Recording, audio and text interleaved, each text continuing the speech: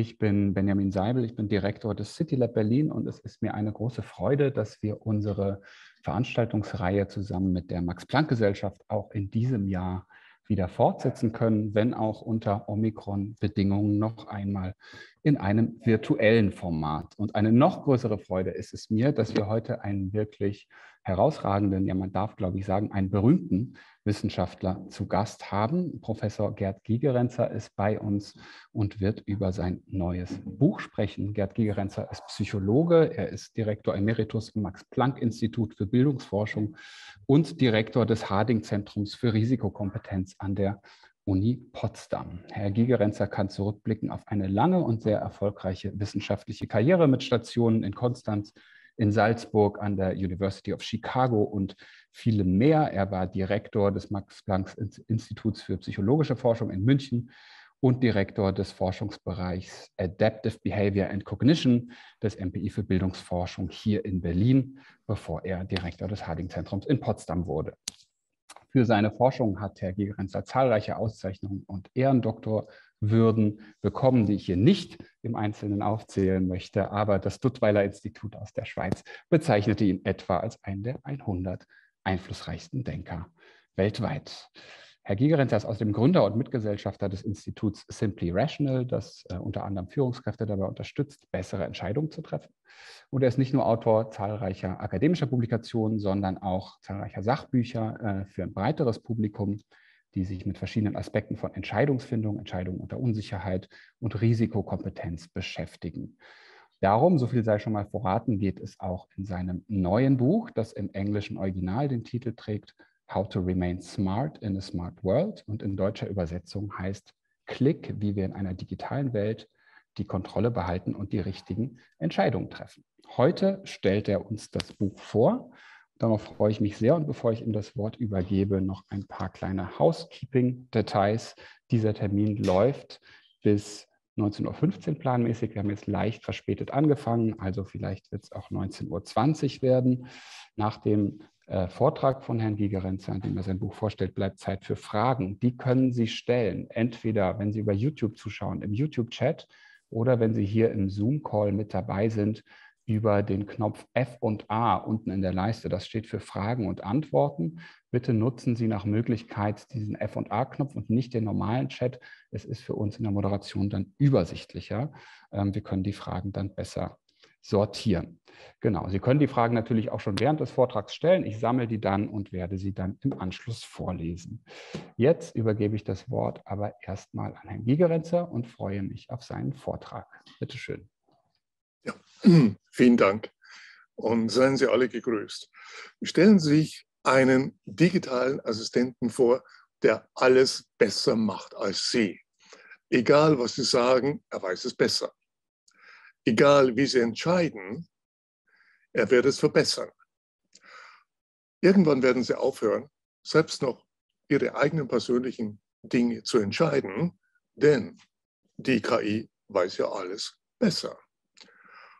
Und äh, selbst wenn sie sich nicht schlüssig sind, welchen politischen Kandidaten sie nun wählen möchten, der Assistent weiß es schon und hat auch schon gewählt.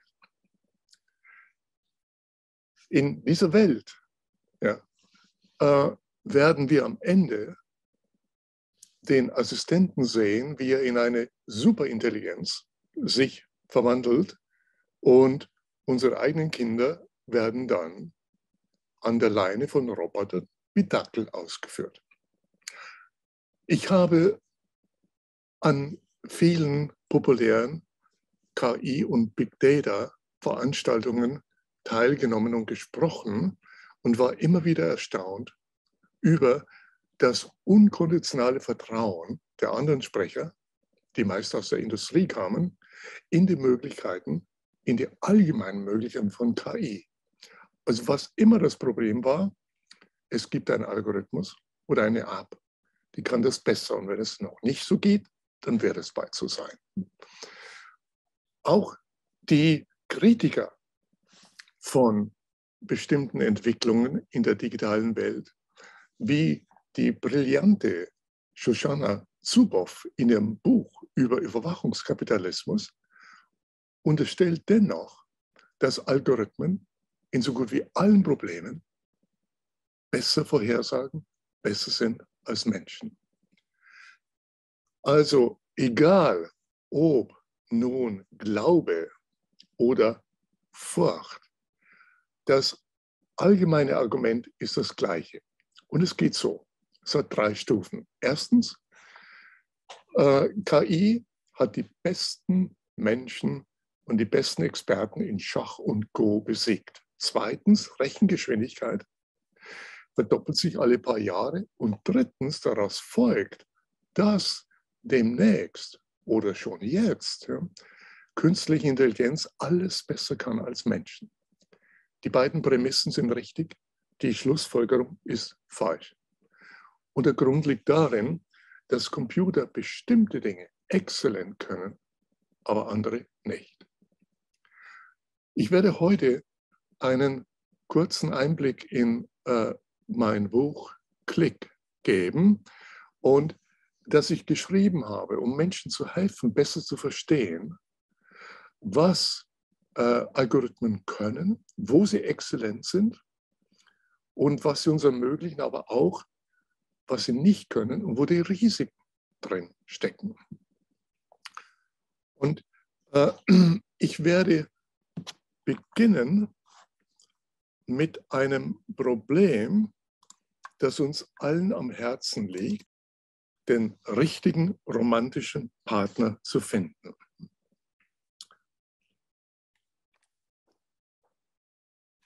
In, überall in Deutschland sehen Sie diese Werbung. Alle elf Minuten verliebt sich ein Single über Parship.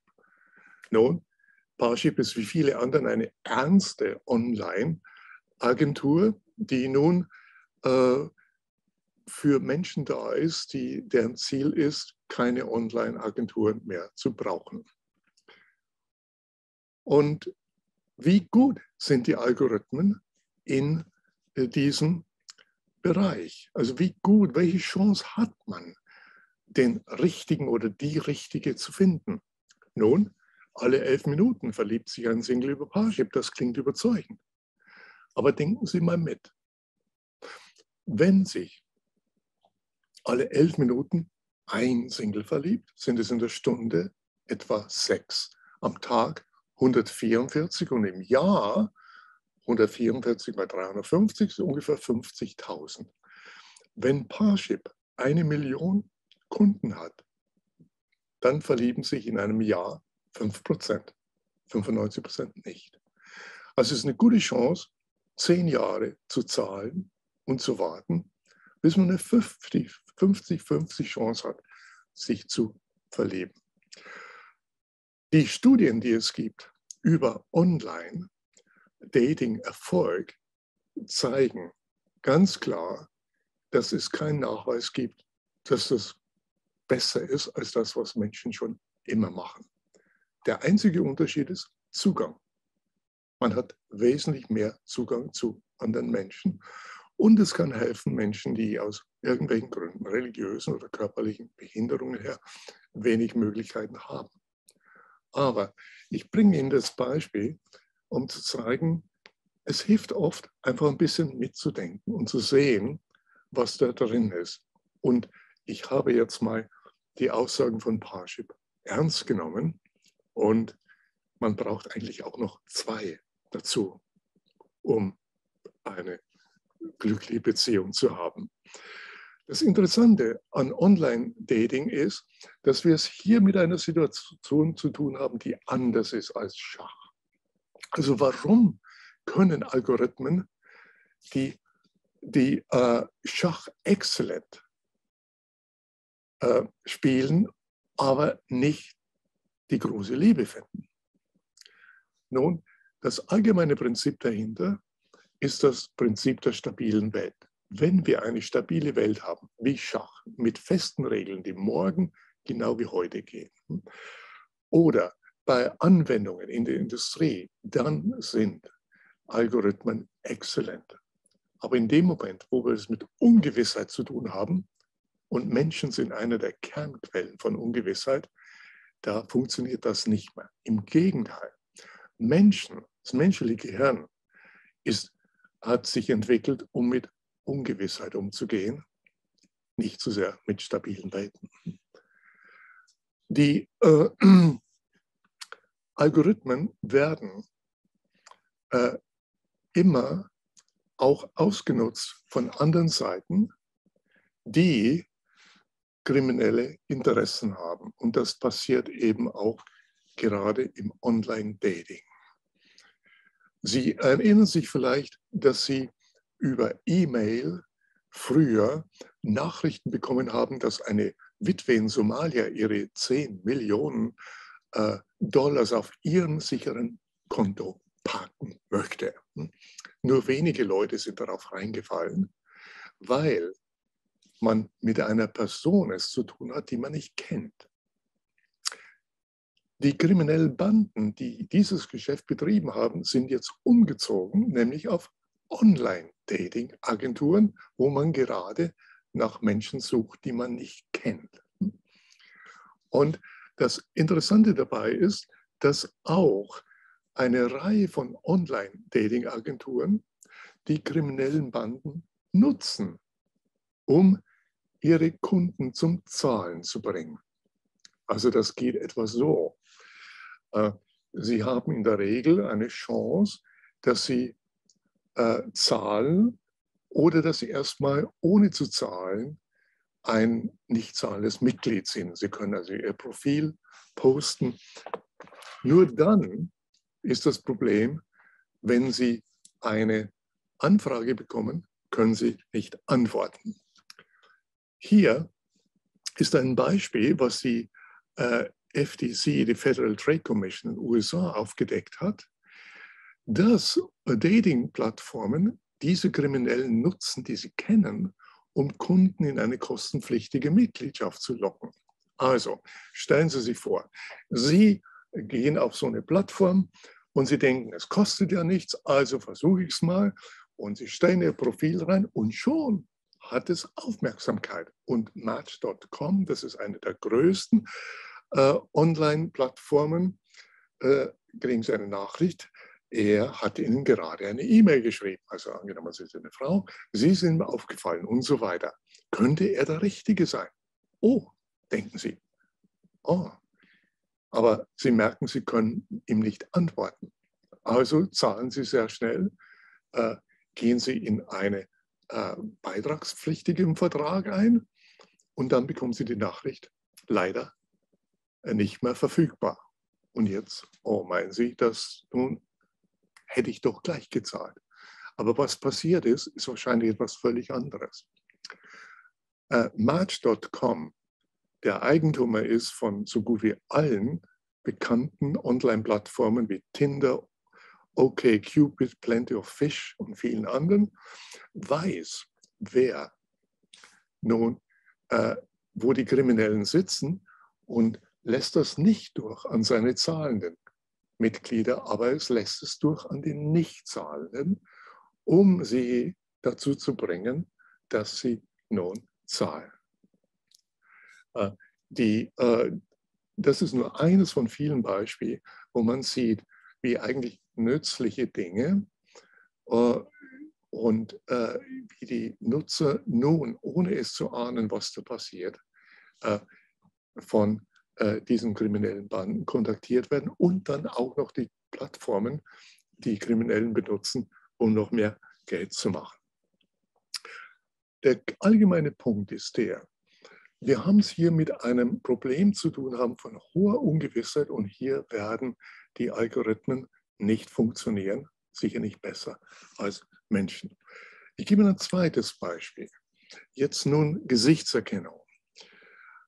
In äh, nicht weit von wo ich wohne, in Berlin, im Südkreuz, hat äh, nach dem Anschlag am Breitbachplatz äh, die äh, Bundespolizei, der Innenminister, ein Projekt zur Gesichtserkennung durchgeführt.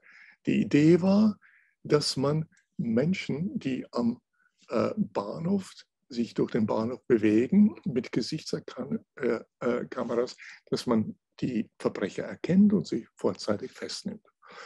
Und äh, 2018 wurde dann erklärt, dass das Projekt erfolgreich war. Und das war mit zwei Zahlen.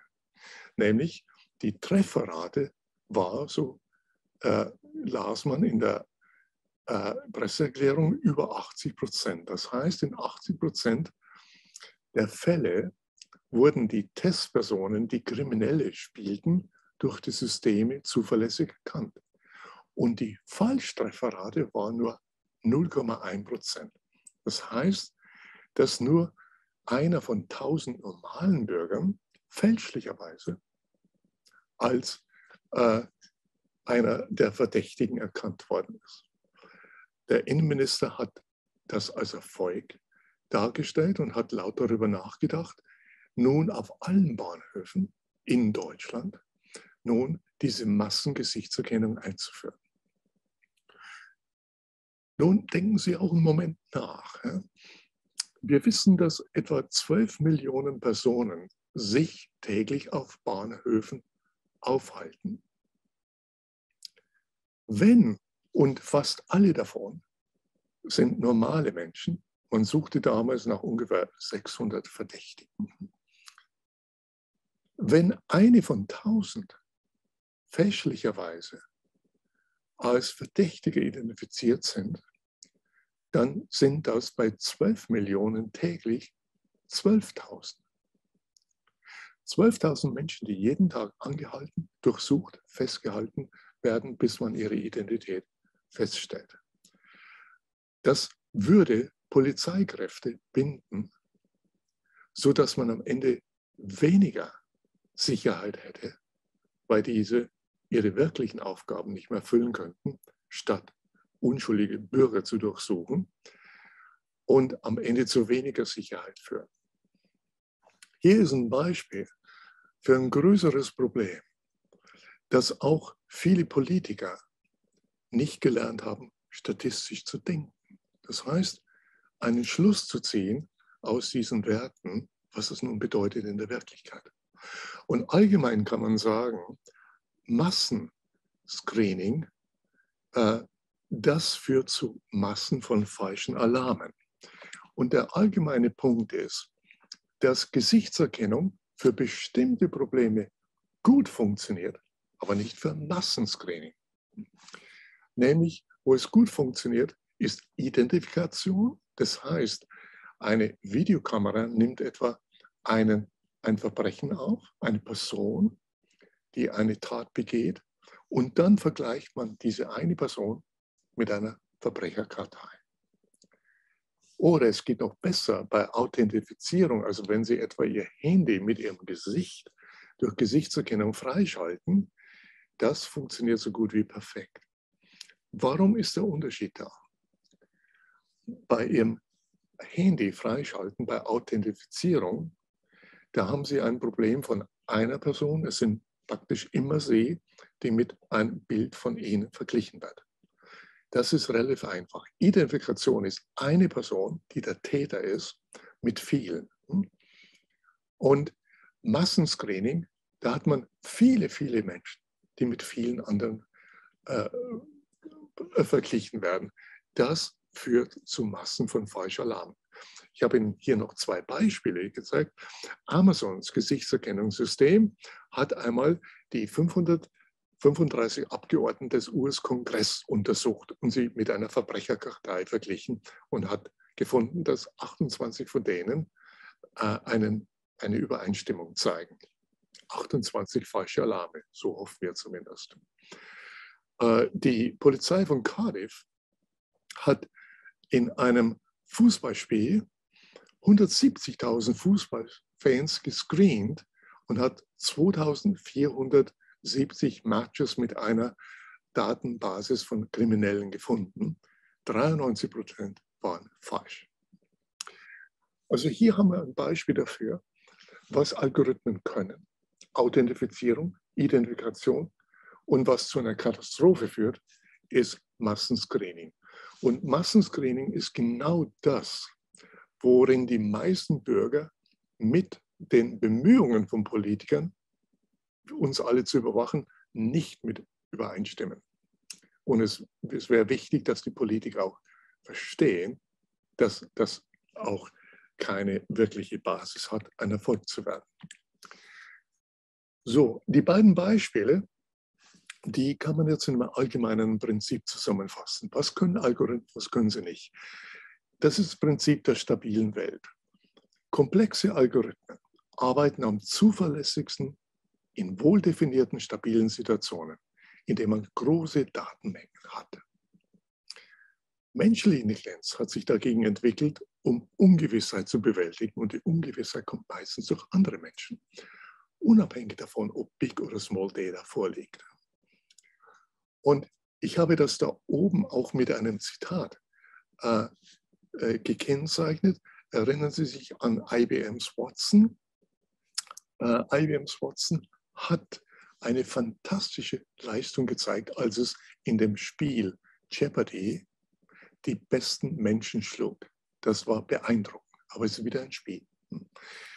Und dann hat die CEO von IBM einen Moonshot verkündet, nämlich Watson wird nun der ideale Arzt werden und wurde in Onkologie, also in der Behandlung von Krebsen genau eingesetzt. Und wiederum, äh, Behandlung von Krebsen ist eine höchst ungewisse Situation, ganz anders als das Spiel Jeopardy. Und hier haben wir die gleichen äh, Supercomputer und ein Ding, was er fantastisch kann, nämlich diese Spiele zu spielen, und das andere, wo es eben nicht gelungen ist. Also hier ist ein Zitat vom Chef des Allen-Instituts für äh, Künstliche Intelligenz. IBM's Watson ist Donald Trump der KI-Industrie. Absurde Behauptungen, die nicht von glaubhaften Daten gecheckt sind. Hier ist es wichtig, dass wir alle verstehen, was können Algorithmen und was sind Marketing-Hypes, in diesem Fall von IBMs äh, Marketing Department. Ein zweites allgemeines Prinzip ist das Prinzip der Anpassung an KI. Es wird im Allgemeinen äh, gemeint, dass KI ein Assistenzsystem ist, was uns eigentlich nur an der Hand geht und wo alles besser wird.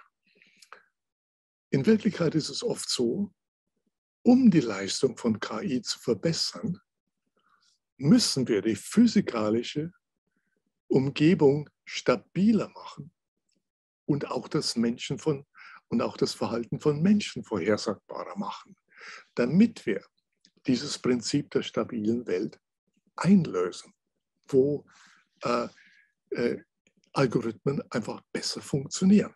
Wir müssen uns verändern. Und ich zeige Ihnen jetzt mal ein Beispiel von selbstfahrenden Autos. Äh, Elon Musk verkündet jedes Jahr, dass demnächst äh, Stufe 5, also selbstfahrende Autos, vorhanden sind. Und äh, die, es gibt hier eine große Konfusion in Begriffen und deswegen habe ich Ihnen die Klassifikation, äh, die internationale SAE-Klassifikation mitgebracht. Äh, Stufe selbstfahrende Autos sind Stufe 5. Das sind Autos, die ohne menschlichen Fahrer in der Nähe, ohne jemand, der aufpasst, in allen Bedingungen sicher fahren können. Die gibt es heute nicht und die wird es wahrscheinlich auch nie geben. Wo wir heute sind, ist Stufe 2. Stufe 1 ist, dass man irgendein System hat, wie zum Beispiel Abstandsregeltempomat. Stufe 2 ist, dass man diese Systeme integriert, zum Beispiel in automatisches Einparken. Stufe 3 bedeutet, dass alle Funktionen beim Autofahren übernommen werden können. Aber in all diesen ersten drei Stufen muss immer ein Mensch dabei sitzen und die ganze Zeit die Straße aufmerksam beobachten, damit man im Notfall schnell und sofort eingreift. Stufe 4 ist die wirkliche Revolution, nämlich äh, im Sinne des autonomen Fahrens. Hier gibt es keinen Fahrer mehr. Aber äh, es kann nur gefahren werden in bestimmten dafür äh, eingerichteten Zonen. Zum Beispiel auf Autobahnen, wo keine menschlichen Fahrer mehr fahren dürfen oder in bestimmten Bereichen von Flughäfen. Was meines Erachtens passieren wird, ist nicht Stufe 5. Das ist viel zu schwierig für ein, einen Algorithmus, sondern Stufe 4. Das heißt, wir werden uns anpassen an die begrenzten Fähigkeiten und wir werden wahrscheinlich Teile von Städten haben oder ganze Städte, wo menschliche Autofahrer verboten sind, wo autonome Autos hinreichend langsam auf Straßen fahren, die äh, abgeschottet sind von allen Menschen, einschließlich Fußgängern und äh, Fahrradfahrern, die davon abgegrenzt verkehren. Also das wird man beginnt auch schon Städte zu bauen, die sich an die Fähigkeit, an die begrenzten Fähigkeit von autonomen Autos anpassen. Das ist die Zukunft, die äh, passiert, wenn wir auf das Auto setzen. Wenn wir natürlich nicht den kalifornischen Blick haben, sondern den europäischen, dann können wir auch auf andere Alternativen wie öffentlichen Verkehr setzen oder eine Kombination, wo langsame, selbstfahrende Autos uns zu schnellen öffentlichen und Weitverkehr bringen. Ich gehe jetzt auf einen äh, verwandten Punkt ein, nämlich was der Unterschied zwischen menschlicher und künstlicher Intelligenz. Wir haben schon eines gesehen, künstliche Intelligenz braucht eine gewisse Stabilität. Und man kann das auch zeigen, den Unterschied, indem man schaut, welche Fehler machen denn Menschen und welche Fehler macht künstliche Intelligenz. Bleiben wir beim Autofahren. Also Menschen äh, machen Verkehrsunfälle dadurch, dass sie betrunken fahren, dass sie nicht aufpassen, dass sie auf ihr Handy schauen und durch viele Dinge. Das ist alles nicht der Fall bei äh, neuronalen Netzwerken, die heute eingebaut werden in autonome Autos. Aber sie machen völlig andere Fehler. Und das Spannende ist, diese sind ganz nicht intuitiv. Was ich Ihnen hier zeige, ist auf der linken Seite äh, ein neuronales Netzwerk hat gelernt, Schulbusse, das sind diese amerikanischen gelben Schulbusse mit den schwarzen Rändern, äh, von anderen Fahrzeugen zu unterscheiden. Und es antwortet richtig Schulbus. Jetzt gibt es sogenannte Adversäre, also gegnerische Algorithmen, die die Schwächen dieser Algorithmen erkennen und die, wie in diesem Beispiel, ein Muster entwickelt hat, das Sie in der Mitte sehen. Das ist auch zehnmal vergrößert, damit Sie überhaupt was sehen. Und dieses Muster wird jetzt auf das Bild links draufgelegt und dadurch entsteht das Bild rechts. Das tiefe neuronale Netzwerk, was richtig Schulbusse von anderen unterscheiden konnte, denkt jetzt, dass das Bild rechts ein Vogelstrauß ist. Das heißt nun, Menschen würden diesen Fehler nicht machen. Sie würden völlig andere Fehler machen. Und das ist auch ein Anzeichen dafür, dass diese Intelligenz von neuronalen Netzwerken, die wirklich eine Intelligenz von korrelativen Zusammenhängen ist und nicht von einem Verständnis eines Konzepts von einem Schulbus völlig anders ist als das von Menschen. Hier ist noch ein Beispiel. Hier geht es in die andere Richtung. Wir haben wieder den Schulbus und gegnerische Algorithmen finden Muster, dass das Netzwerk nun auch aus einem Schulbus äh, für einen Schulbus hält. Und ein solches Muster ist rechts gezeichnet, also die Streifen, diese schwarzen, gelben, schwarzen, gelben Streifen. Und das Netzwerk ist zu 99 Prozent sicher, dass das Bild rechts ein weiterer Schulbus ist. Aus diesen Fehlern kann man so ungefähr erschließen, was da wirklich vorgeht in einem solchen neuronalen Netzwerk. Es sucht, wie gesagt, nach Korrelationen. Es hat kein Konzept eines Schulbusses. Also anders als ein Kind, was äh, nur einen Schulbus einmal oder zweimal sehen muss, dann erkennt es Schulbusse. Ein neuronales Netzwerk braucht Zehntausende, Hunderttausende Beispiele, aber es hat immer noch kein Konzept davon. Und was es wahrscheinlich lernt, in diesem Fall ist die Farbe und die Abwechslung zwischen äh, ja, gelben und schwarzen Teil. Und wenn man diese Farben immer wieder wiederholt, dann wird es immer sicherer, dass es eben doch ein Schulboss ist. Hier ist ein anderes interessantes Beispiel äh, über die unterschiedlichen Fehler, die äh, Menschen und neuronale Netzwerke machen. Auf der linken Seite, in der linken Spalte, haben Sie eine Zahlenfolge 0140. Ein neuronales Netzwerk, was gelernt hat, solche handgeschriebenen Zahlen zu identifizieren, kann das sozusagen perfekt lernen. Jetzt verändert man ein paar Pixel in der zweiten Spalte, die Sie wahrscheinlich kaum sehen und wahrnehmen. Und das neuronale Netzwerk erkennt die Zahlen in der zweiten Spalte nicht mehr. Ein Mensch kann abstrahieren von diesen Dingen und sieht immer noch das. Auf der anderen Seite, das gleiche gilt für die äh, folgenden Paare. Wenn Sie in die rechte Hälfte gehen, da haben Sie die Zahlen 9, 1, 6, 9. Schauen Sie sich die zweite Spalte an und Sie werden wahrscheinlich nichts erkennen.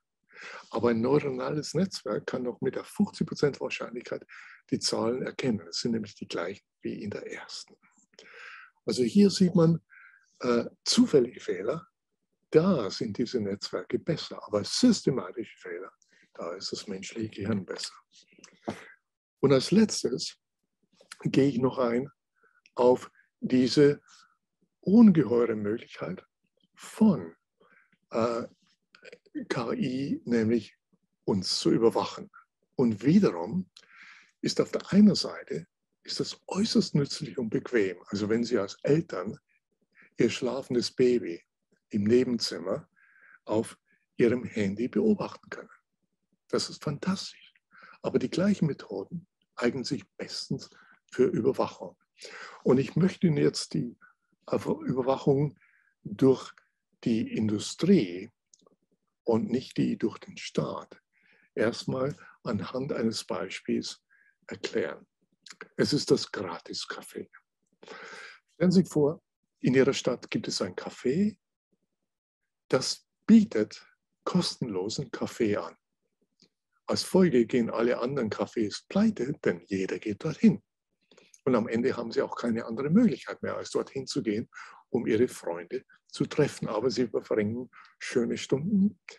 Äh, und äh, nur in den Tischen und an den Wänden sind Wanzen, Abhörgeräte und Videokameras installiert, die alles aufzeichnen, was sie sagen und zu wem. Und in dem Café gibt es jede Menge von Vertretern, die versuchen, ihnen ihre personalisierten Produkte anzudrehen und sie ständig unterbrechen. Es sind diese Vertreter, die für ihren Kaffee bezahlen. Die Vertreter sind die wirklichen Kunden des Cafés, nicht Sie. Sie sind die Ware, Ihre Aufmerksamkeit und Ihre Zeit. Dieses Beispiel ist in etwa das, wie Facebook und andere soziale Medien funktionieren. Die Nutzer sind nicht die Kunden, da sie nicht bezahlen. Die Kunden sind die Werbetreibenden. Die Nutzer, genau deren Zeit und Aufmerksamkeit und hoffentlich deren Geld, das sind die Waren. Die negativen Folgen von Facebook und Instagram die gerade wieder durch die Presse gingen, die Jugendliche betreffen, die vor allem eben auch bei Instagram äh, weibliche Jugendliche betreffen.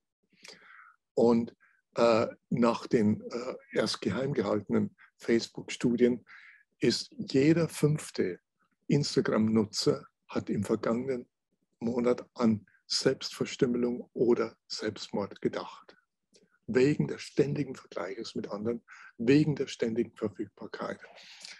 Diese negativen Folgen könnte man vermeiden, wenn man aus dem Gratis-Café wieder ein richtiges Café machen würde.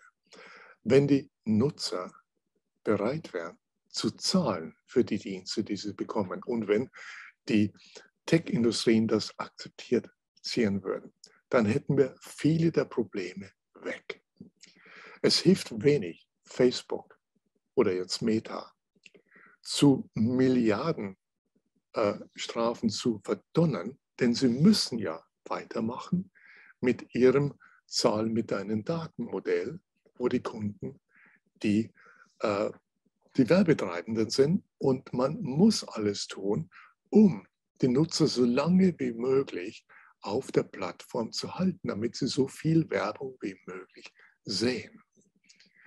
Und eben auch die Algorithmen sorgen dafür, dass auch auf YouTube der Nutzer immer mehr in weniger wissenschaftliche, in extremere Meinungen reinkommt, weil die Leute dann länger dabei bleiben.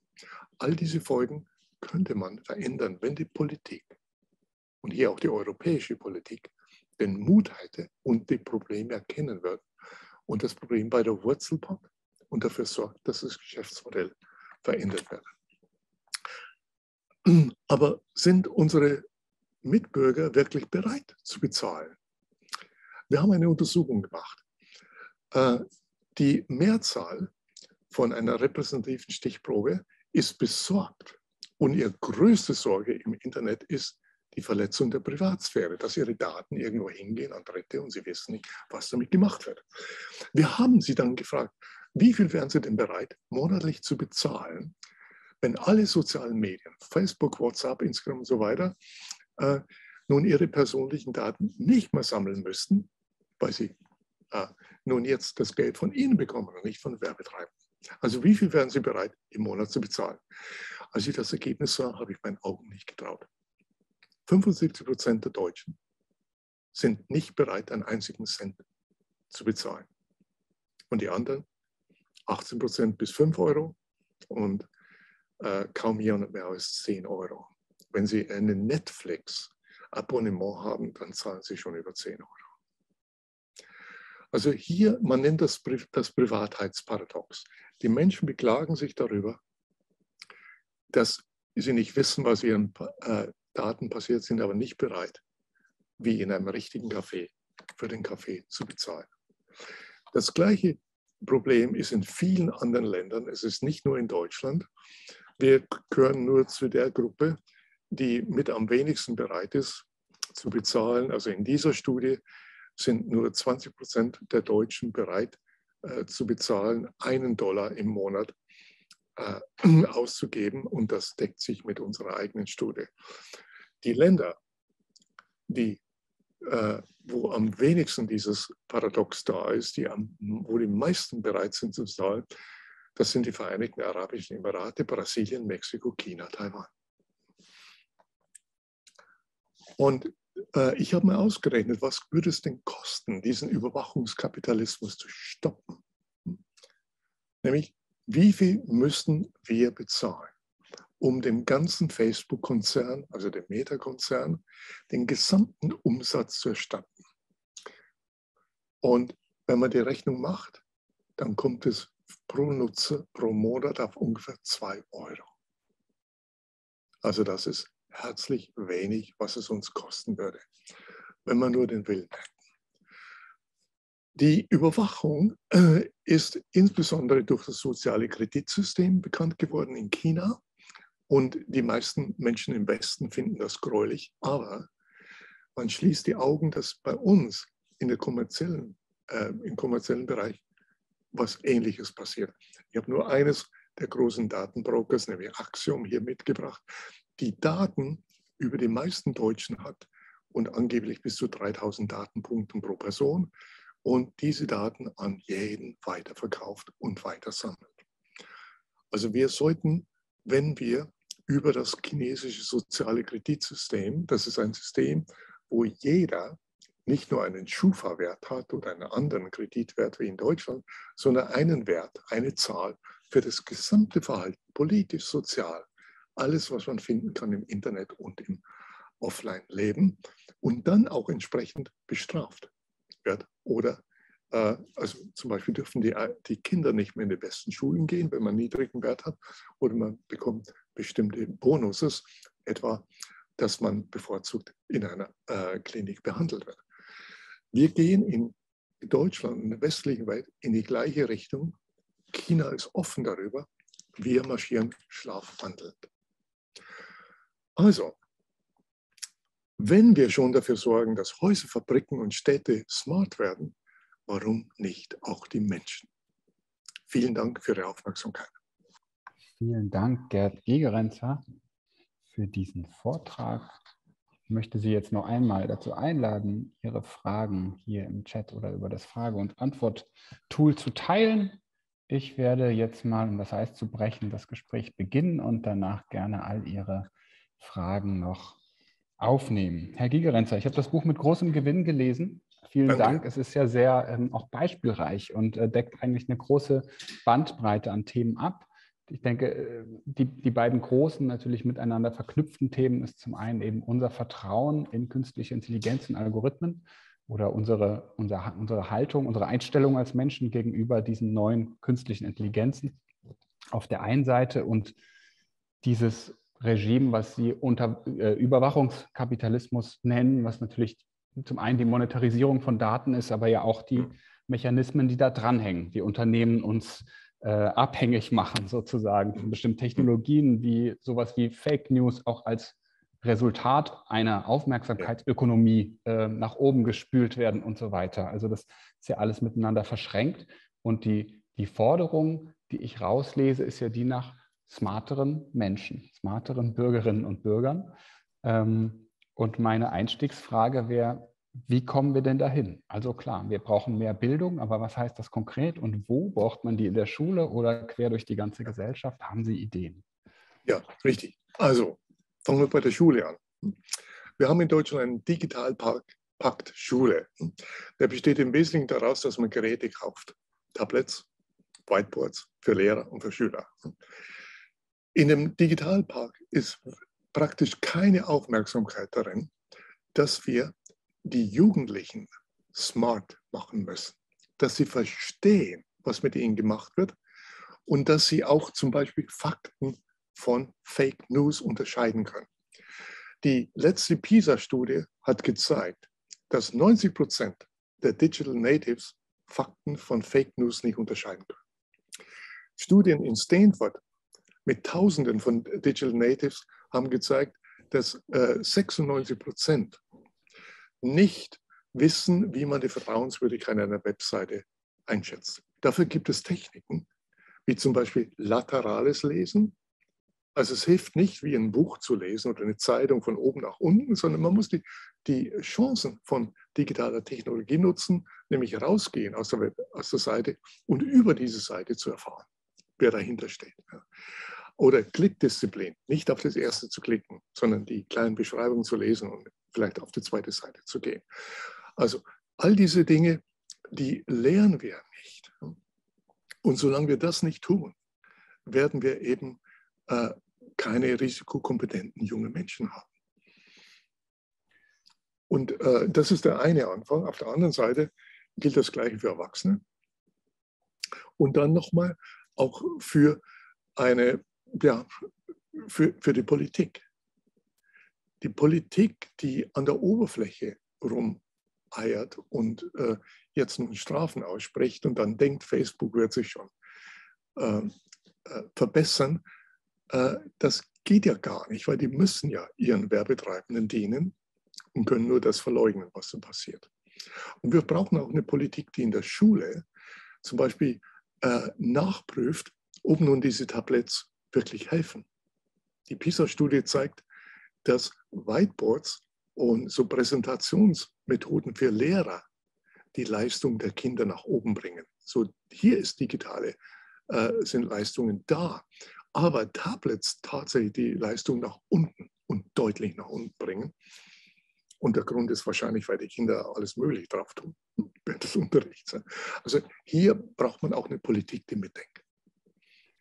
Auf die Politik können wir gleich nochmal zu sprechen kommen. Ich musste gerade spontan denken an ein Gespräch mit Ihrem Kollegen Ralf Hertwig, das wir letztes Jahr geführt hatten, der sich mit Nudging und solchen Anreizmechanismen beschäftigt. Es wäre ja auch denkbar, dass man die Technologien, die KI-Technologien dahingehend gestaltet, dass sie den smarten Bürger, die Bürgerin, ja letztlich einfach ein mündiger Bürger, mitdenken oder fördern, indem die Technologien zum Beispiel selbst transparenter machen, wie sie funktionieren. Also dass man bestimmte Mechanismen auch schon in die digitalen Technologien einbaut. Wäre das auch denkbar oder ist das eigentlich am Problem vorbeigedacht?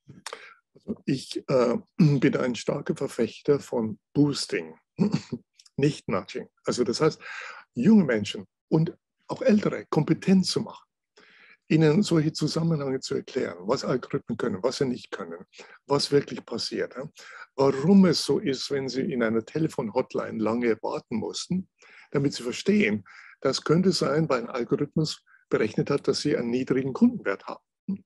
Oder zu verstehen, dass man nicht auf den ersten Sucheintrag klicken sollte. Dass, wenn Sie alles das verstehen, ja, und die Zuhörer, aber die meisten Deutschen tun das nicht. Oder zum Beispiel, äh, wissen Sie, dass Ihr Smart TV möglicherweise alle persönlichen Gespräche, die Sie führen, vor dem Fernseher aufzeichnet? Hm? Also nach unseren Studien wissen das nur vielleicht ein Sechstel der Deutschen. Die anderen sitzen blind davor. Also das ist alles so digitale Risikokompetenz und das ist nicht so schwer. Nudging bedeutet ja, dass man die Leute nicht kompetent macht, sondern dass man sie schiebt. Und das ist, kann manchmal passieren, dass man sie versucht, in die richtige äh, Richtung zu schieben, aber die Industrie hat wesentlich mehr Geld und wird sie dorthin schieben, wo es der Industrie nutzt und nicht den Menschen. Also ich bin für Risikokompetenz. Genau, das wäre das Stichwort auch zur Politik. Gerade heute stand es in der Zeitung, ähm, in der Wochenzeitung Die Zeit ähm, wurde äh, verkündet, mehr als 80 KI-Projekte laufen allein bei der Bundesregierung. Also als Beispiel, das Robert-Koch-Institut untersucht soziale Medien mit künstlicher Intelligenz, um Infektionsausbrüche vorherzusagen. Äh, das BSI äh, versucht Fake-Videos zu erkennen mit Hilfe von KI, also ein breites Spektrum. Mehr als 80 Projekte. Allerdings wird kritisiert, eine Risikoabwägung findet im Grunde nicht statt oder fand nicht statt. Zumindest konnte die Regierung keine Auskunft dazu geben. Überrascht Sie das und warum überrascht Sie das nicht? Leider überrascht mich das nicht.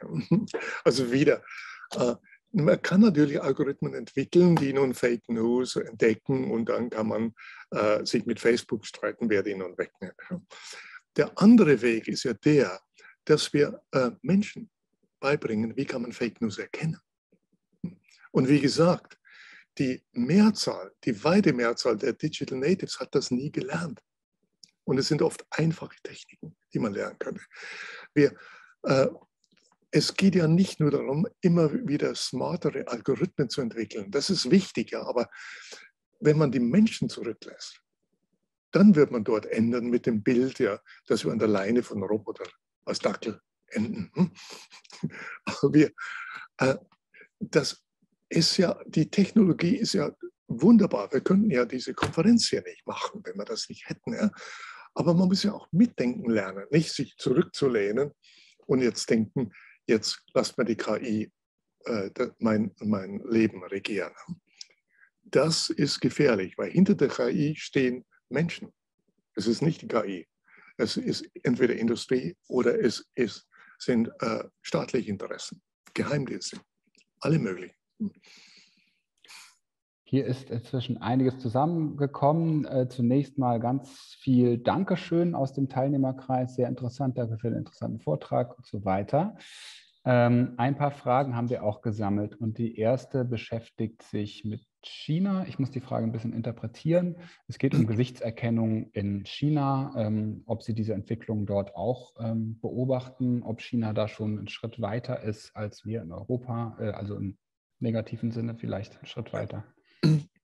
Also der, die, äh, das soziale Kreditsystem, wie gesagt, das ist äh, Schufa im Quadrat. Also das heißt, Sie haben einen Wert für alles, was sie tun. Hm? Wenn sie ihre alten Eltern besuchen, dann äh, äh, kriegen sie Punkte. Wenn sie bei Rot über die äh, Fußgängerampel gehen, dann kriegen sie Punkte Abzug. Ja? Das alles kann man mit äh, Gesichtserkennung gut machen, wenn es ein Problem ist der Identifizierung. Also da ist Sie gehen über die rote Ampel. Dann kann man sie das machen, wie ich es gezeigt habe. Wenn man es aber als Massenerkennung einführt, wie es auch manchmal versucht wird, dann wird es auch in China scheitern. Äh, die, was mir Sorgen macht, ist, dass die, äh, äh, China verkauft die Software und Hardware inzwischen an viele Staaten. Das, dazu gehört Thailand, dazu gehören äh, südamerikanische Staaten und demnächst vielleicht auch einige äh, äh, autoritär orientierte Staaten in Europa. Und man kann mit einer solchen Software, also mit diesem sozialen Kreditsystem, einen Grad von äh, wahrgenommener Fairness entwickeln. Also sie werden belohnt, wenn sie ein guter Bürger sind und die anderen werden bestraft. Und das empfinden viele Chinesen richtig. Und es wird auch Korruption verhindert und viele Dinge. Also es wird ein gläserner Mensch werden. Und wir müssen uns überlegen, wollen wir das? Wollen wir ein autokratisches System, wo wir oben jemand haben, der uns sagt, was wir tun sollen? Und wir sind glücklich, solange das gut geht. Und in China geht es im Moment den meisten gut, nicht allen. Und äh, eine, mit einer Demokratie, wie wir sie haben, die langsam ist, die auch in Corona-Zeiten nicht immer einheitlich und schnell entscheiden kann, ganz anders als in China, da äh, droht die Gefahr, insbesondere wenn wir nicht risikokompetente Menschen haben und Menschen, die eine Demokratie schätzen, dass wir genau dort ändern, enden. Also wenn Sie die chinesische App WeChat kennen, damit kann man alles machen. Das ist so, so toll. Und, und es wird alles aufgezeichnet, was Sie tun, mit wem da ist, gibt es nichts mehr. Und die Frage ist, ob äh, unsere westlichen Demokratien das überleben. Und das macht mir wirklich Sorge. Und die Demokratie wird nur funktionieren, wenn sie mündige Bürger haben. Und dazu gehört Risikokompetenz. Die Europäische Union bemüht sich ja zumindest um eine ähm, Position, digitalpolitische Position, die sich irgendwo zwischen dem Überwachungskapitalismus amerikanischer Prägung und dem, äh, der staatlichen Kontrolle, äh, vielleicht chinesischer Prägung, versucht zu behaupten. Äh, Paul Jerchel greift das hier auf und weist darauf hin, dass in der EU, also in der KI-Strategie der Europäischen Union, explizit eine Explainable AI ähm, auch eingefordert wird äh, und fragt, spricht das mhm. nicht gegen die These des Kontrollverlustes? Also ich verstehe es so, haben wir nicht politisch eigentlich Möglichkeiten, diesem Kontrollverlust auch zu begegnen? Also Explainable AI bedeutet ja erstmal, dass man einen Algorithmus hat und den den Menschen erklärt. Und es bedeutet ja nicht, dass man den Überwachungskapitalismus abschafft. Äh, die äh, Explainable AI, AI ist eine, also wenn Sie neuronale Netzwerke haben, tiefe neuronale Netzwerke, dann können Sie gar nicht erklären, was da passiert. Sie können höchstens vermuten, so wie ich das an einem Beispiel mit dem Schulbus gezeigt habe, dass er Farben und andere Dinge schaut. Sie wissen das nicht. Und was Sie dann erklären, ist wahrscheinlich nicht das, was da passiert.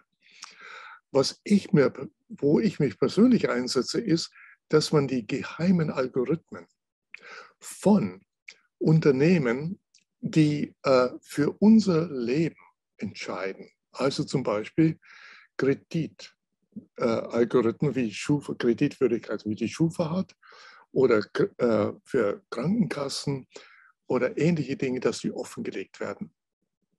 Also das ist, wenn das, wenn das mit Explainable AI genannt ist, da bin ich voll dafür. Also die Liebesalgorithmen wie von Parship und so weiter, die braucht man nicht offenlegen, sondern die Dinge, denen wir unterworfen sind, ohne uns dagegen wehren zu können. Die, die bestimmen, ob wir einen Job bekommen und so weiter. Hier sollte man mit offenen Karten spielen. Zumal Sie die Algorithmen in Ihrem Buch ja beinahe schon offengelegt haben, wo Sie zeigen, dass die oft gar nicht so komplex sind, wie die Anbieter uns das glauben machen wollen. Das sind sie auch gar nicht. Ja. Auch die von, von äh, TikTok, von, von Instagram sind alle nicht so kompliziert. Da wird ein großer Mystizismus betrieben.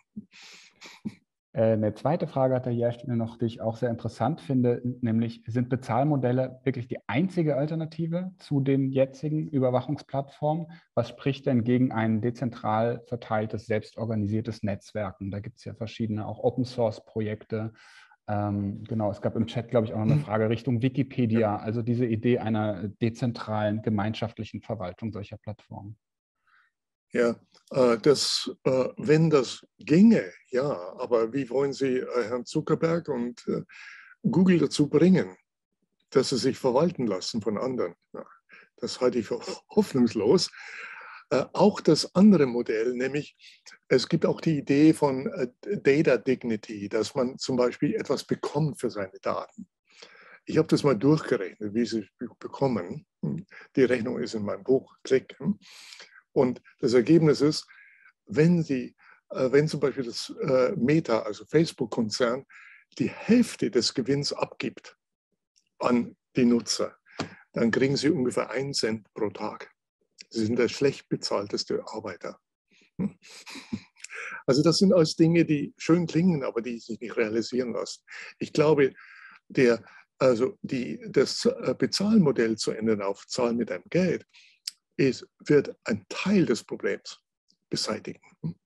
Man braucht natürlich auch andere Dinge, wie zum Beispiel Offenlegung von Algorithmen und so weiter. Aber das wäre ein radikaler Einschnitt, der äh, viele Folgeprobleme lösen würde. Sie positionieren sich ja durchaus sehr kritisch, aber Sie sind kein Gegner, äh, glaube ich, per se der künstlichen Intelligenz, sondern eben ein Kritiker im besten Sinne. Ähm, Sie beraten ja durchaus auch Akteure, zum Beispiel aus dem Finanz- und Gesundheitssektor, dabei Entscheidungen zu treffen. Mich würde interessieren, haben Sie ein Beispiel, wo Sie sagen, da macht der Einsatz von künstlicher Intelligenz wirklich total Sinn? Oder da gibt es äh, Bereiche, wo das wirklich gut funktioniert und äh, vielleicht auch menschliche Entscheidungen auf eine sinnvolle Art und Weise unterstützen kann. Also die, die Bereiche, wo KI äh, gut funktioniert, sind äh, ja jede Menge. Also die äh, Industrieanwendungen voraus. Also Autolackieren geht viel, viel besser, weil die Maschinen eben äh, weniger Variabilität haben als Menschen. Die werden nicht müde und die werden nicht hungrig. Und äh, also in diesem Bereich funktioniert es wunderbar. Wenn Sie im Allgemeinen eine stabile Welt haben, dann sind solche Algorithmen gut. Also in der Astronomie, Big Data zum Beispiel ist das Gleiche. Uh, Big Data nutzt Sie nur, wenn Sie eine stabile Welt haben, wenn die Zukunft so ist wie die Vergangenheit. Davon und uh, in, in solchen Bereichen ist KI exzellent. Sobald Sie menschliche Verhalten mit dabei haben, wird es schwierig. Also die Vorhersage von äh, Predictive Policing beispielsweise, das äh, viele äh, Bundesstaaten probieren, ist eine höchst umstrittene Sache und die ursprünglichen Projekte in Chicago und in äh, Los Angeles wurden alle aufgegeben, weil es eben nicht dazu geführt hat. Es ist einfach zu schwierig. Menschen, das heißt, äh, KI wird funktionieren, sobald sich Menschen zuverlässig, äh, zuverlässiger werden und konstanter verhalten. Das ist eine Art Erziehungsprogramm für uns.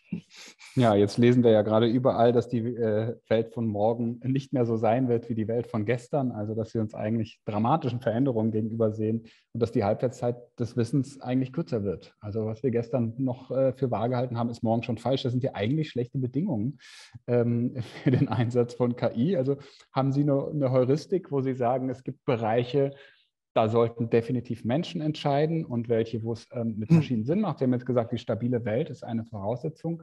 Wahrscheinlich sind es in der Realität meistens Mischformen, wo es stabile Elemente gibt und nicht so stabile. Ähm, haben Sie da einen, wie soll ich sagen, einen Kompass, dass Sie sagen, es gibt Fragen, ähm, die sollten dem Menschen tatsächlich vorbehalten bleiben? Ja, also dazu gehören natürlich ganz andere Art von Fragen, moralische Fragen zum Beispiel. Die, aber ich äh, arbeite ja selbst über KI, insbesondere über einfache Algorithmen. Und jetzt muss ich noch mal eine Entscheidung, eine Unterscheidung treffen, die ich im Vortrag jetzt nicht treffen konnte, nämlich zwischen sogenannten komplexen Algorithmen, wo man sehr viele Parameter schätzt, wie neuronale Netzwerke oder äh, ja, so Random Forests und einfachen Algorithmen. Und menschliche Urteil und menschliche Intuition ist an Ungewissheit angepasst. Unter Ungewissheit müssen Sie es einfach machen, weil Sie sonst zu viele Parameter aus der Vergangenheit schätzen, die in der Zukunft nichts machen. Also, kleines Beispiel, um das zu illustrieren. Google hat äh, bis 2015 versucht, die Verbreitung der Grippe vorherzusagen, also genau die grippebezogenen Arztbesuche. Und äh, Grippe ist nun nicht eine äh, Situation von einer stabilen eine stabile Situation. Denn Virusse ändern sich, auch Grippevirusse. Und Menschen geben Suchbegriffe ein aus allen möglichen Gründen, nicht nur weil sie Symptome haben, sondern weil sie neugierig sind, zum Beispiel damals auf die Schweinegrippe. Also das heißt, man kann sich aus so theoretischen Prinzipien schon klar machen, das wird nicht sehr erfolgreich sein, das Programm, was Google da versucht. Und als es scheiterte nach der Schweinegrippe, haben sie auch noch komplizierter gemacht, sind in die falsche Richtung gegangen. Wir am Max-Planck-Institut sind in die andere Richtung gegangen. Wir haben einen, das, was Menschen machen in der Situation, nämlich nur unter dynamischen, man nimmt nur das letzte Datenpunkt oder die letzten und vergisst die späteren. Ne? Also das Gegenteil von Big Data. Und wir haben gezeigt, dass wenn man nur einen Datenpunkt nimmt, nämlich die äh, grippebezogenen Arztbesuche eine Woche vorher, und man sagt, die, was Google macht, die in der nächsten Woche voraus, dann macht man präzisere und bessere Vorhersagen über die ganzen acht Jahre als die komplexen Big Data-Algorithmen. Also ein Datenpunkt kann besser sein, aber nur in Situationen von Ungewissheit. Also Dinge kann man lernen. Dann verschwendet man nicht zu viel Geld. Und hier kriegt man auch ein bisschen Vertrauen wieder in das menschliche Gehirn und die Psyche, wie wir angelegt haben. Ich nenne das psychologische AI. Also das heißt, dass man lernt, wie Experten aufgehen, also ein ganz altes Programm, aber was dann irgendwie fallen gelassen wurde. Äh, und äh, in Situationen von Ungewissheit hier einfache Algorithmen entwickelt, die robust sind und funktionieren. Und die sich eben stärker an dem menschlichen Verhalten Richtig, ja. orientieren. Das ist diese Herbert Simon-Linie wahrscheinlich. Genau, ja. ja. Und das ist, was wir, was wir machen auch. Äh, äh, äh, viele andere inzwischen in der, in der Welt. Also das wurde leider aufgegeben. Herbert Simon hatte einen Fehler gemacht. Er dachte, das ist die, er wollte Schach spielen, Schachprogramme machen. Aber das ist genau die stabile Welt. Da sind uns Algorithmen überlegen. Einige ähm, Zuschauende hier im Chat beschäftigt die Frage, und ich glaube, das ist auch so eine Schreckensvision, die aus dem Silicon Valley kommt, nämlich die einer KI, die uns Menschen unterwirft, dominiert, ja. wie auch immer, die Terminator Skynet-Vision. Kann man Ihre Ausführungen auch so interpretieren, fragte jemand, dass Sie diese Gefahr eigentlich für wenig realistisch halten? Richtig.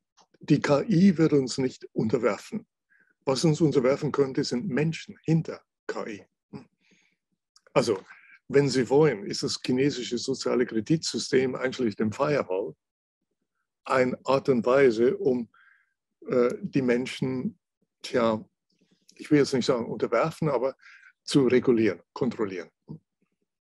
Es ist nicht die KI selbst. Die KI ist unschuldig. Aber sie, bereit, sie bietet Möglichkeiten, die wir früher nicht hatten. Vielen Dank. Ähm, hier erkundigt sich noch jemand äh, nach einer der Idee eines äh, Algorithmen-TÜVs für bestimmte Bereiche, zum Beispiel Hochfrequenzalgorithmen im Finanzbereich. Also macht es aus Ihrer Sicht Sinn, irgendeine Prüfinstanz da noch tatsächlich einzubauen? Ist das überhaupt realistisch? Auch angesichts der ja oft proprietären äh, Codes ist das überhaupt ein denkbarer Weg, dass man versucht, so eine Instanz zu schaffen? Also ich arbeite ja mit der Bank von England zusammen über, ähm, wie man die Finanzwelt sicherer macht, indem man einfachere Algorithmen einsetzt. Also statt äh, Basel III zum Beispiel, also das, wo man höchst komplizierte, komplizierte Berechnungen anstellt, die in einer ungewissen Welt äh, uns nicht geschützt haben. Sondern man muss es einfacher, robuster machen. Da muss man genau hinschauen, damit die richtigen, robusten, also die paar Merkmale, die wirklich zählen. Und das hilft auch mehr äh, äh, gegen das Gaming von Banken, denn äh, je komplizierter es wird, desto leichter ist es, zu gamen und desto schwieriger ist es für die Zentralbanken aufzusagen. Also im Allgemeinen bin ich für eine transparentere und einfachere Finanzwelt, wo man eben nicht so einfach nun äh, aus dem möglichen Ruin ja, erstmal zehn Jahre lang Geld abschafft und dann lässt man die Steuerzahler zahlen. Ein Thema, das uns äh, auch im City Lab äh, immer wieder beschäftigt, das Thema Algorithmic Bias, ähm, diskriminierende Algorithmen, ja. ähm, dass sich also letztlich ja diskriminierende gesellschaftliche Strukturen fortschreiben äh, ja. und dann zurückkommen unter dem Anschein von Objektivität, äh, mhm. dann Sexismus, Rassismus etc. weiter transportiert wird. Was ja. kann man dagegen tun? Also äh, was hilft, man muss Verschiedenes tun. Eines, was hilft, ist das Geschäftsmodell ändern von Zahlen mit deinen Daten zu Zahlen mit deinem Geld. Ja. Dann ist kein Interesse mehr da, uns in diese Richtung zu lenken und zu, zu extremen und auch sexistischen äh, Richtungen. Das Zweite ist, äh, dass man, wenn man äh, äh, zum Beispiel neuronale Netzwerke oder, oder ähnliche komplizierte Algorithmen, die ja sehr viele Parameter, bei denen man sehr viele Parameter schätzen muss, an der Vergangenheit, hm, wenn, wenn Sie da lernen, dann werden Sie natürlich die Biases weiterbringen. Und das dritte Interessante ist, dass für einen Algorithmus, um erfolgreich zu sein, ist er in der Regel besser dran, wenn der Bias noch verstärkt wird also der Sexismus oder Rassismus noch verstärkt wird. Das äh, habe ich in meinem Buch Klick im Detail gezeigt. Ich weiß nicht, ob ich das hier in 30 Sekunden erklären kann, aber ich lasse mal einen Moment stehen. Wenn es jemand hören möchte, mache ich das. Ja. Aber der Punkt ist, damit der Algorithmus bessere Vorhersagen macht, das gelingt dadurch, indem man mehr Bias hat.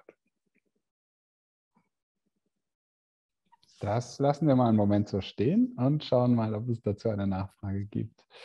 Ähm, ja, hier hat sich wieder einiges gesammelt. Ich versuche mal noch zwei, drei Aspekte rauszupicken, die wir noch nicht so stark beleuchtet hatten. Hier gibt es Fragen zu KI in der, ähm, in der Medizin, zur Diagnose. Ähm, da äh, fand ich auch einen sehr spannenden Punkt in Ihrem Buch, wo Sie schreiben, ja, man muss auch aufpassen, dass man nicht durch diesen Solutionism, heißt das bei Morosow, ne, andere Möglichkeiten aus dem Blick verliert. Zum Beispiel, dass ja. das beste Mittel gegen Krebs ist, Gesundheitsvorsorge zu machen und ja. nicht immer neue ja. Algorithmen auszuprobieren.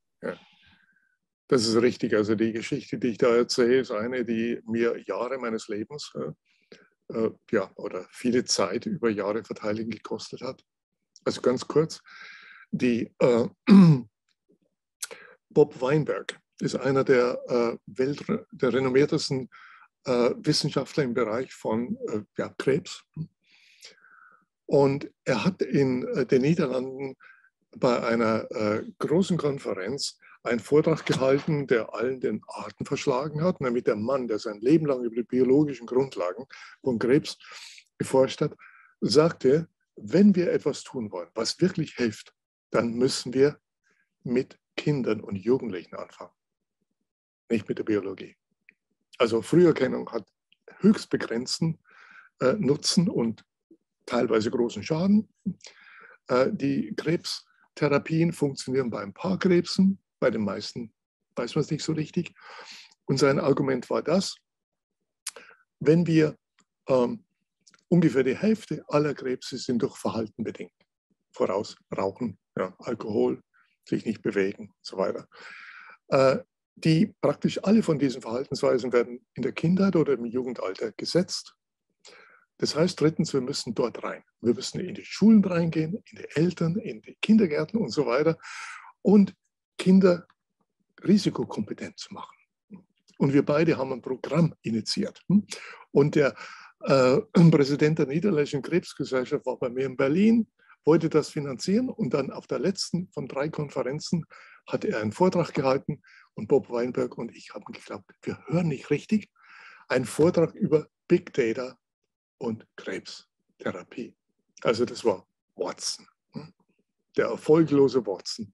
Und das Marketing Department haben ihn überzeugt. Hm? Und das ganze Geld, das war für das Programm, wo wir schon in Groningen, in einem Bereich, wo es sehr viele etwas fette Kinder gibt, anfangen wollten zu arbeiten. Das ganze Geld ging an die Industrie. Das ist ein Beispiel ja, dafür, dass die Marketingstrategie und der Überhype äh, nun dazu führt, dass natürlich, äh, wer immer dahinter ist, ob das nun welche Firma immer, äh, das Geld absahnt mit großen Versprechungen und dort, wo man den Menschen helfen könnte, hm, so gut wie nichts passiert. Es ist uns auch nicht gelungen, in Deutschland einen Geldgeber für dieses Projekt zu finden. Man gibt Geld an Big Data und KI für Situationen, wo wir keinen Nachweis haben, dass es überhaupt was hilft, also dem Patienten. Jetzt gibt es doch noch mal eine Nachfrage zu den Biases und zwar im Zusammenhang mit Personalauswahl. Das wäre ja ein so ein Beispiel. Die künstliche Intelligenz filtert Bewerbungen vor anhand bestimmter Kriterien und äh, dann passt man nicht auf und dann kriegt man statt Diversität das Gegenteil davon. Richtig, ja. Also ich äh, würde äh, allen Firmen raten, künstliche Intelligenz, wenn überhaupt, nur zur allergrößten Grobauswahl einzusetzen und dort, also wenn man wirklich Massen hat. Hm. Aber das kann man mit anderen Kriterien auch machen. Wir haben keinen Nachweis, dass KI äh, besser auswählt als ein erfahrener Personaler. Und äh, mit denjenigen, mit denen ich gesprochen habe, die verwenden einfache Heuristiken. Die schauen noch ein, zwei, drei Dinge. Und das finden Sie zum Beispiel auch von Menschen wie Elon Musk. Elon Musk berichtet, dass als er noch selber einstellte, nur auf ein einziges Kriterium schaute, nämlich hat die Person eine außergewöhnliche Fähigkeit. Wenn nicht, wird nicht eingestellt. Wenn ja, hofft er, das wird auch in Zukunft so sein. Wir haben auch analysiert, äh, wie Jeff Bezos einstellt. Hm? Der hatte noch zwei Kriterien dazu. Aber es ist wirklich die Kunst, sich auf das Wesentliche zu konzentrieren und den ganzen Rest zu ignorieren. Ich habe noch eine Frage Richtung Politik und dann gibt es noch eine Abschlussfrage hier aus dem Publikum. Wir äh, arbeiten hier auch viel an der Schnittstelle Digitalisierung, Politik, Verwaltung. Und was man ja doch konstatieren muss in den letzten Jahren, Jahrzehnten, ist, dass die Politik sich auch schwer tut damit, mit der Regulierung von Digitalisierung, weil es da ja, das ist ja eben, Angela Merkel nannte es Neuland, ähm, es ist ja eben ein Feld voller Unsicherheit. Und ich dachte, das müsste Sie eigentlich doppelt interessieren, weil genau diese Entscheidungen unter Unsicherheit ja ein Thema von Ihnen sind. Wir erleben, dass Politik, man hat manchmal das Gefühl, mit dem Tempo der Digitalisierung überfordert ist oder zumindest ja. sehr stark gefordert und dass die Entscheidungsmechanismen in der Politik so langsam sind, dass die Digitalisierung immer schon einen Schritt weiter geht. Es gibt da jetzt auch Überlegungen, und das, da würde mich Ihre Meinung interessieren. Es gibt einen, einen, Professor aus Chicago, der ein Konzept vorgeschlagen hat, es nennt sich Experimentalist Governance zum Beispiel, ähm, wo es darum geht, wir können nicht immer gründlich prüfen und abstimmen und überlegen, bis wir vermeintlich, den vermeintlich perfekten Weg gefunden haben, mhm. ähm, weil wir den, da nie hinkommen, sondern auch die Politik muss sozusagen im Angesicht dieser Herausforderung von KI sich auch trauen, auch entscheidungsfreudiger werden, äh, Regulationen ausprobieren, evaluieren, zurücknehmen. Also ähm, sehen Sie das ähnlich? Äh, richtig. Äh, man muss dazu sagen, dass äh, die Politiker ja äh, meistens nicht mit äh, Wissenschaftlern reden, sondern mit Lobbyisten, die einfach bezahlt werden dort vor Ort. Ja? Also, äh, und, und natürlich entsprechend äh, beeinflusst werden, genau wie dieser Präsident der Niederländischen Krebsgesellschaft und dann plötzlich das Glauben, was ihnen da als Marketing-Hype angeboten wird. Äh, es gibt eine Studie in Deutschland über die Vorstände der großen DAX-Unternehmen und MDAX, und 92 Prozent von denen haben keine erkennbare Ausbildung in KI oder Statistik oder irgendein Feld, was, was einem da helfen würde. Also ja, äh, die, wir bräuchten Politiker, die da mehr durchstehen und die auch den Mut haben, äh, gegen die Interessen der Lobbyisten zu stehen. Es gibt im europäischen Niveau, gibt es ein paar. Und an denen meine Hoffnung hängt, ja, aber dort gibt es noch mehr Lobbyisten als bei uns. Hm. Also wir, wir bräuchten wirklich auch Politiker, die wissen, mit wem man redet. Das ist doch ein deutliches Schlusswort und dann nehme ich jetzt nur noch eine, äh, eine Bitte oder Nachfrage aus dem Chat auf, nämlich haben Sie einen einfachen Tipp für alle, die Fake News erkennen oder generell kompetenter im Umgang mit den digitalen Technologien werden möchten? Was ist aus Ihrer Sicht der wichtigste erste Schritt, den man machen kann oder den man auch zum Beispiel Schülern beibringen soll? Also, äh, Klickdisziplin ist eine. Klicken Sie nicht auf das erste Suchergebnis, auch nicht auf das zweite. Das ist meistens Werbung.